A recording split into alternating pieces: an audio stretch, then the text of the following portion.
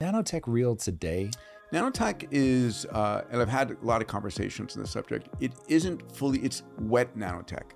What nanotech is today is the ability to design proteins that do things for us. Hmm. Still going, novel proteins or yeah, brand replicate? new. Like it's like we need a protein that can have an arm that sticks out and attaches here and does this.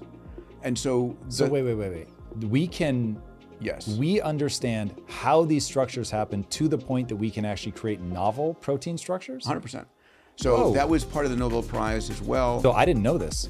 So we're not just mapping these um, enzymatic processes yield this protein. We're saying we understand the sort of Lego-y nature of a protein and now can create any shape we want.